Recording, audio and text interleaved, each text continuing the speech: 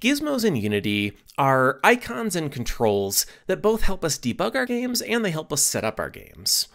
And Unity provides us with a number of gizmos out of the box. So in this sample scene, which is just um, the one that Unity provides for us, the 2D game kit, you'll see a number of icons associated with audio, associated with particle systems, and if we go into the scene and we start selecting objects, we'll see a lot more gizmos, some of which are editable by us.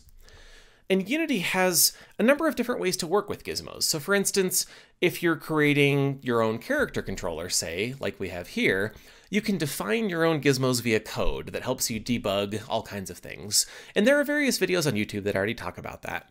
So what I want to talk about here today is sort of the built-in gizmo system that Unity provides for us. The way that we can toggle all these on and off, change their size, assign our own gizmos to our own uh, scripts, and, and so on and so forth. And so we're going to start with this top right gizmos menu, and you'll find this both in the scene view and the game view. By default, it's off in the game view, and by default, it's on in the scene view, but it can always be toggled.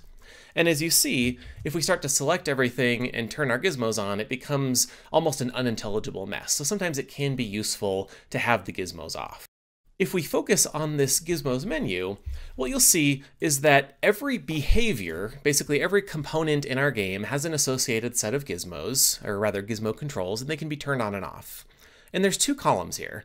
The first one is an icon and the second one is gizmo. And what that means, let's take audio sources, for example. So you can see that we have two audio sources already. If I toggle this first thing, this toggles the actual view of the icon. Now, if I were to select one of these audio sources, um, we're going to see that there is an associated widget. There's an associated gizmo that lets us set the minimum and maximum distances for volume. And if I go under the gizmos and I toggle the right side of the audio source, that toggles that on and off. So we can toggle the icon and the associated gizmo separately for everything. So down at the bottom, you'll see all of the things that Unity provides for us, and up at the top, you'll see all of our user-created scripts. Additionally, for icons, we can choose the size of the icon. And we have this 3D option. This doesn't mean 3D games versus 2D games. This means as you zoom in, what happens. So as you'll see, by default, if I zoom in, my icons get bigger and bigger, or smaller and smaller as I zoom out.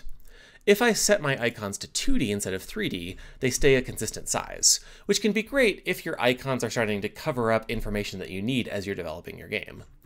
In 3D mode, you can also set a relative size, basically a multiplier. Uh, we have selection outline and selection wire.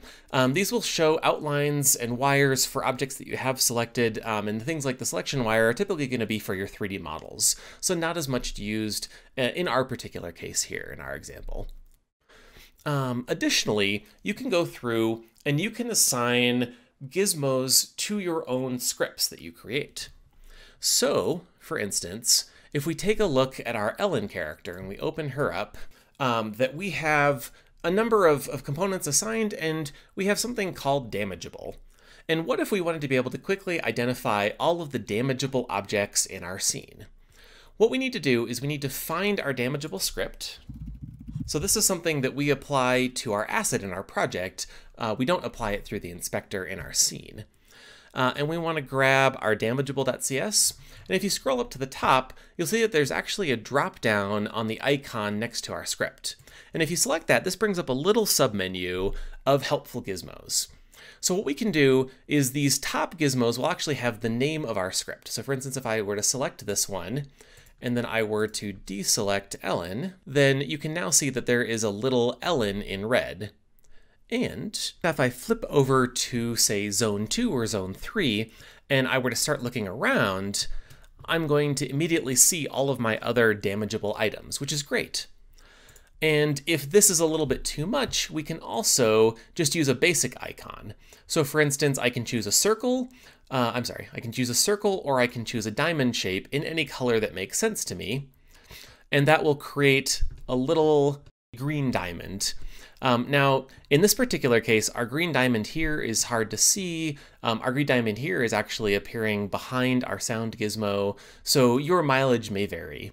Uh, if this doesn't work, let's say that these are, are not the right size or they're just not visible enough, you can actually go through and you can select uh, any icon from any texture in your project. Um, so if I really want to, I could say assign the puff to our damageable. And that way I have a little puff in everything in my scene that can be destroyed. And just a reminder that you can also view all of these in the game mode by toggling gizmos. So in this case, what I might want to do um, is I might want to say turn off irrelevant gizmos in my game view and only turn on damageable and only turn on, um, say, colliders so that I can see how my character is interacting with damageable items and when my character is destroying them, and I can use that both to develop my game, but also to debug my game to figure out what's going right and what's going wrong. So in summary, the main way that we interact with Unity's gizmos system, their display of gizmos, is through this dropdown, both in the game view and in the scene view. And there's a number of things that we can set here, and we can also go to our own user-created scripts, and we can define our own gizmos for view in the scene.